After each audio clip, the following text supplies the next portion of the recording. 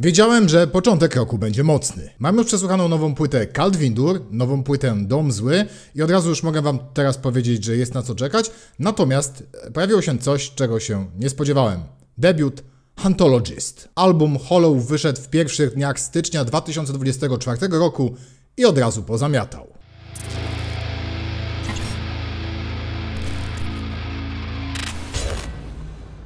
Projekt od razu był skazany na sukces. Dlaczego? Dowiesz się w swoim czasie.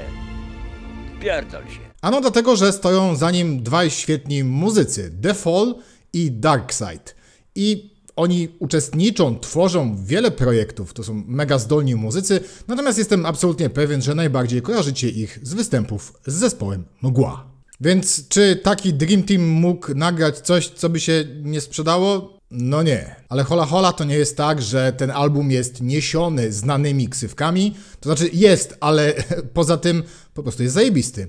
Chłopaki nagrali bardzo ambitny, spójny, wciągający, intrygujący i jednak inny niż zespoły, w których grają album. Debiut, który moim zdaniem zostanie najzwyczajniej w świecie zapamiętany.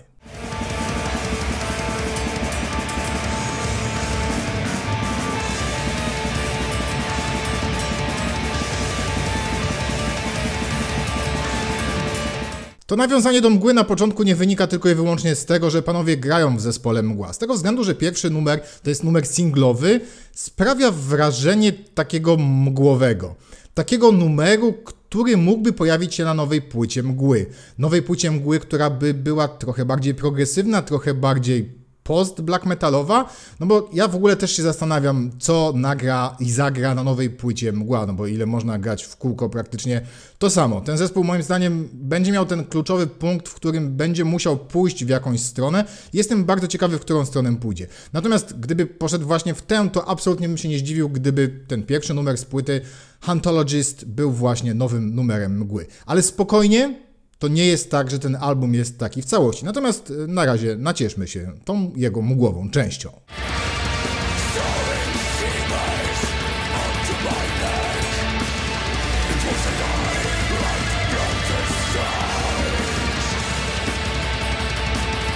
Bo tych moich skojarzeń z mgłą z każdym kolejnym numerem będzie coraz mniej, aż w pewnym momencie one całkowicie znikną. Ale jeszcze nie teraz. Zespół, o ile można tak mówić w przypadku dwóch osób, to duo na tej płycie bardzo lubi budować przestrzeń i robi to na kilka ciekawych sposobów.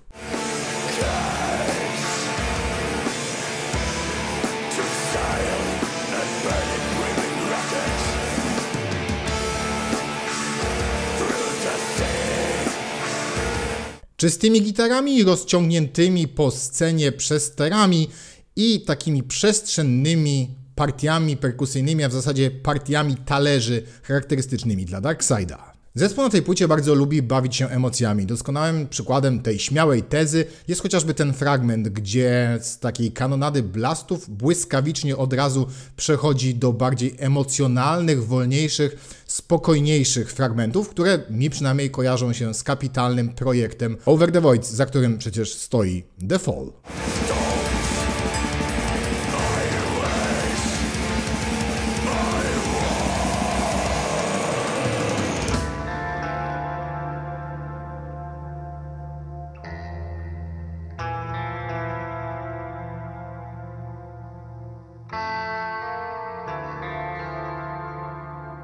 Rozgoń pan, rozgoń pan tę, rozgoń pan, rozgoń pan tę mgłę. Krzyknął ktoś i już nie żyje. No i chłopaki usłyszeli i rozgonili ten mgłowy, mglisty, mglany klimat i chociażby właśnie tym numerem, który wprowadza w takie trochę inne oblicze zespołu.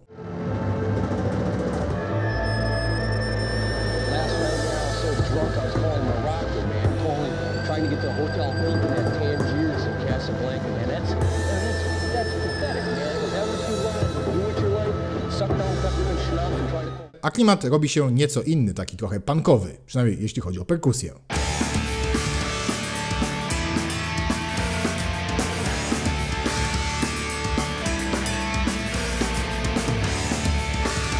Mamy tutaj też takie postowe, lekko przesterowane gitary.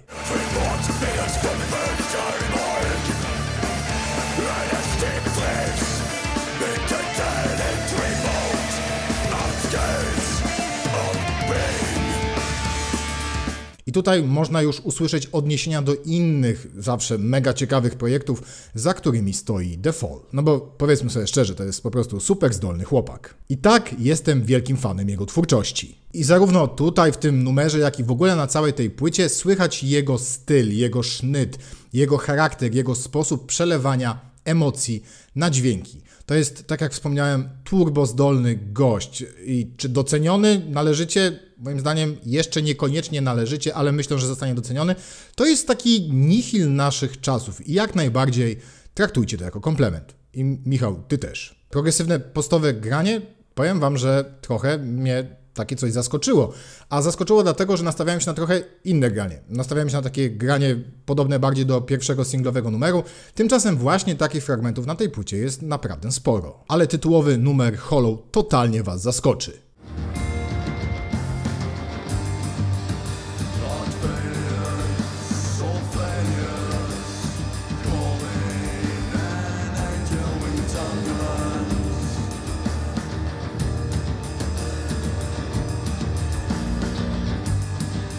Z jednej strony bowiem ten numer totalnie odstaje od tego wydawnictwa, a z drugiej pasuje do niego idealnie.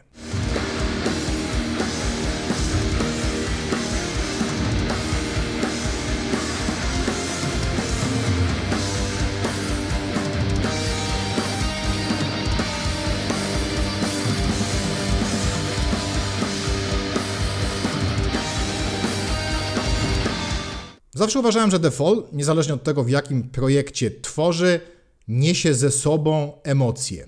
I w doskonały sposób potrafi przelewać te emocje na dźwięki, przelewać te emocje na nuty, na konstrukcję utworów.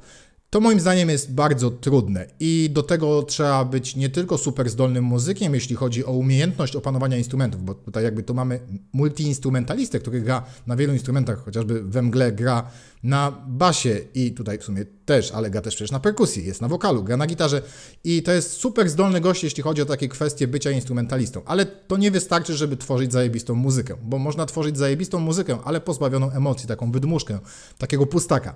Absolutnie debiut Hantologist nie jest pustakiem, nie jest wydmuszką. On jest pełen emocji, tak jak w zasadzie każdy projekt mm, Michała Defola.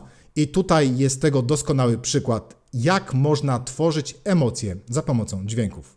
I to jest moim zdaniem jeden z najmocniejszych elementów, najmocniejszych punktów tego wydawnictwa.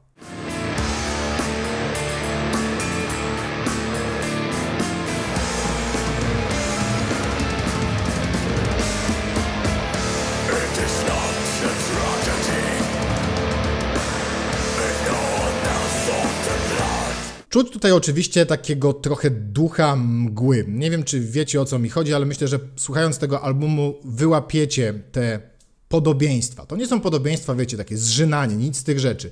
Z drugiej strony myślę, że jeżeli mamy dwóch e, bardzo zdolnych muzyków, którzy spędzają mnóstwo czasu czy tworząc e, utwory mgły, tak jak w przypadku Darkseida, czy grając e, koncerty, tak jak w przypadku Darkseida i The Falla, no będąc w tej mgle cały czas tyle dni, słuchając jej w kółko, grając ją w kółko, no trudno jakby wyzbyć się tych mgłowych naleciałości i one tutaj moim zdaniem są. Z drugiej strony to wiecie, to Darkseid ma specyficzny styl grania na perkusji, który bardzo dobrze znamy z mgły, więc trudno oczekiwać od niego, że będzie grał zupełnie inaczej, choć oczywiście jest tutaj mnóstwo partii, na których gra inaczej niż we mgle, ale jednak ten jego styl jest słyszalny.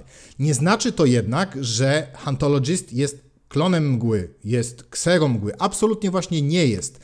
Czuć ten delikatny mgłowy klimat, natomiast to są, szczególnie w drugiej połowie tego wydawnictwa, zupełnie inne numery. Jednocześnie Hantologist, tak samo jak mgła, podchodzi bardzo mocno do melodii. Melodie są kluczem często utworów, często są kluczem opowiadanej historii. Robi to jednak w nieco inny sposób. Robi to jednak często w sposób mniej przystępny niż robi to mgła, więc też automatycznie nie będzie takim, wiecie, e, popularnym zespołem jak, czy projektem jak mgła, natomiast nie znaczy, że robi to gorzej. Robi to inaczej i robi to zajebiście.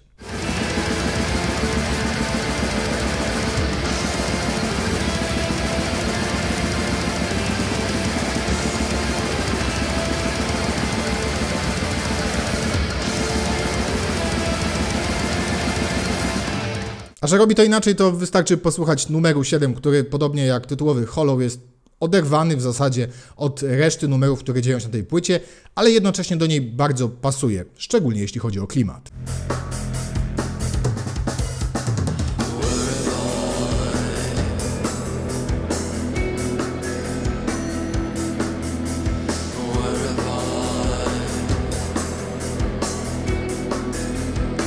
Gadam tak cały czas o Michale de Folu, ale szczerze powiedziawszy nie wiem jak to się procentowo rozłożyło, jeśli chodzi o tworzenie numerów. Czy Darkseid też może uczestniczył w czymś innym niż perkusja. Ale skupmy się tutaj na Darkseidzie, który siedzi za zestawem perkusyjnym. To jest moim zdaniem jeden z najlepszych, ale też jakby nie tylko moim zdaniem, jeden z najlepszych polskich perkusistów w tej chwili, jeden z najlepszych perkusistów, najciekawszych perkusistów, jeśli chodzi o scenę black metalową na świecie. Z tego względu, że ma wyrobiony swój własny styl. Styl, który nie bazuje wcale tylko i wyłącznie na super szybkich tempach. Moim zdaniem, nie znam się specjalnie na perkusji, bo jedyne co ja tam sobie gram to na e, okularach, na goglach, e, questach, trójkach, w jakąś tam, wiecie, gierkę perkusyjną i, i kilka razy siedziałem za perkusją i absolutnie e, mój poziom jest totalnie zerowy. Tu, natomiast tutaj w przypadku e, perkusji Darkside'a, tak jak i w przypadku perkusji Darkside'a we mgle, bardzo ważne są talerze. Talerze, na których on potrafi tworzyć zupełnie inne przestrzenie. Tego jest tutaj pełno i to jest mega zajebiste. W ogóle partie perkusyjne na tej płycie to mistrzostwo. Jednocześnie perkusja nie wychyla się za bardzo przed pozostałe instrumenty, nie stara się dominować. I mamy tutaj balans. Balans, który jest moim zdaniem bardzo ważnym elementem tej płyty. Balans, który objawia się w różny sposób. E, zarówno jeśli chodzi o jakby mastering, e, żaden instrument czy wokal nie jest wypchnięty za bardzo do przodu, nie dominuje, one tworzą całość, a jednocześnie balans, jeśli chodzi o tworzenie numerów, o ich konstrukcję, o sposób konstruowania, tworzenia melodii, tworzenia rytmów, to jest wszystko zbalansowane, mimo tego, że jest dużo się na tej płycie dzieje, o tak wam powiem, to jednak nie jest to taki nieprzyswajalny miszmasz, wręcz przeciwnie, jest to bardzo przyswajalny miszmasz, tylko oczywiście nie można powiedzieć, że to jest płyta bardzo łatwa w odbiorze. Ona wchodzi faktycznie za pierwszym razem, natomiast odkrywa kolejne warstwy dopiero przy kolejnych przesłuchaniach. I powiem wam, że tak, tak właśnie jest. I polecam przesłuchać to więcej niż jeden, a nawet więcej niż trzy czy pięć razy, bo naprawdę odkryjecie tutaj kolejne warstwy, które sprawią, że ten album odbierzecie jeszcze lepiej. Idę w jego kierunku i nagle znajduję się w lesie, w środku nocy. Chodzę powoli między drzewami, e, spaceruję i nagle widzę cara kruków. Powiem wam, że debiut Huntologist jest największym zaskoczeniem tego roku dla mnie, ale wiecie, jest początek stycznia, więc jakby nie za wiele się wydarzyło. Natomiast nawet gdyby ten album pojawił się czy na koniec tego roku, czy y, na koniec ubiegłego roku, już mi się język plącze, to myślę, że powiedziałbym dokładnie to samo. Hantologist przyszedł do nas trochę niespodziewanie, bo chyba bardziej spodziewaliśmy się ogłoszenia nowej płyty mgły albo wypuszczenia singla z nowej płyty mgły. Tymczasem dostaliśmy inny projekt muzyków, którzy też w tę mgłę są zaangażowani i kurczę, no mogą się chłopaki yy, być niezadowoleni przez to, że tak o tej mgle wspominam, no ale nie da się nie wspominać o mgle, mówiąc o tych dwóch muzykach. Sorry, tak jest. Poza tym, jak sami widzicie, wielokrotnie jestem wielkim fanem mgły i, i tak po prostu jest. Nie dałoby się o tym albumie nie mówić we wszelkiej maści podsumowaniach z tego względu, że on po prostu zaskoczył. Zaskoczył tym, jak jest skonstruowany, zaskoczył tym, jakie przekazuje emocje. No i przede wszystkim zaskoczył tym, że w ogóle jest, że ci panowie mieli czas i energię, żeby tworzyć kolejny projekt, a jednocześnie mega pozytywnie zaskoczył, że mimo uczestnictwa w tylu projektach, tworzenia muzyki, oczywiście cały czas kręcącej się wokół metalu, często ekstremalnego metalu, to jednak mają jeszcze w sobie pokłady pomysłów, które najwyraźniej nie pasowały do innych projektów, choć oczywiście są fragmenty, które na przykład moim zdaniem by pasowały do Over the Voids i nie mogę się doczekać kolejnej płyty Over the Voids, bo uwielbiam album Hadal, mam go na winylu i słucham go bardzo często, często do niego wracam. I Słysząc Huntologist, mógłbym powiedzieć, że szkoda, że przez to Default pewnie nie wypuści niedługo nowej płyty Over the Voids, ale jakby dostałem tak zajebisty album, że oczywiście czekam cały czas na Over the Voids nowe, to jednak nie mam mu tego za złe. I absolutnie nie mogę powiedzieć, że gdyby nawet to wpłynęło na wydawnictwa innych zespołów, w których panowie uczestniczą, nie mógłbym mieć im za złe tego, że poświęcili czas i energię na ten debiut Hollow bo on jest po prostu zajebisty, ambitny, pełen emocji, ciekawy, intrygujący, taki postujący gdzieś właśnie, e, wychodzący poza ramy takiej klasycznej muzyki, ale jednocześnie bardzo przyswajalny, bardzo ciekawy, bardzo inteligentny. I moim zdaniem Chłopaki nagrali album, który zapisze się na kartach polskiej muzyki metalowej i będzie wspominany. Jestem bardzo ciekawy, jak ten projekt się dalej potoczy, co zagra, kiedy zagra, kiedy nagra, czy będą koncerty. Trzymam kciuki, żeby były, żeby dobrali sobie skład, jeśli znajdą oczywiście czas. Tymczasem kupię płytę, ale chyba nie na CD, poczekam na winyl i nie mogę się doczekać informacji od nikogo, e, kiedy będzie winyl i czy będzie winyl.